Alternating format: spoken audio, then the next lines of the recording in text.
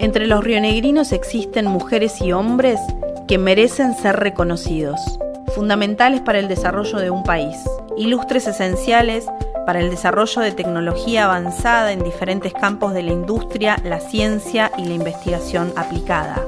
Por su obra y trayectoria sobresaliente, cumplidas en el campo de la ciencia, la legislatura de Río Negro declaró ciudadanos ilustres a Horacio Osuna y Conrado Baroto, ilustres con identidad rionegrina, fundadores del INVAP, Orgullo Rionegrino.